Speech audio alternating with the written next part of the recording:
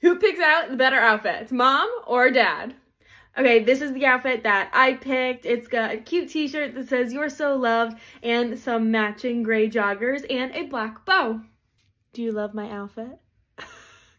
This is my outfit. These, it's an interesting uh, set of colors.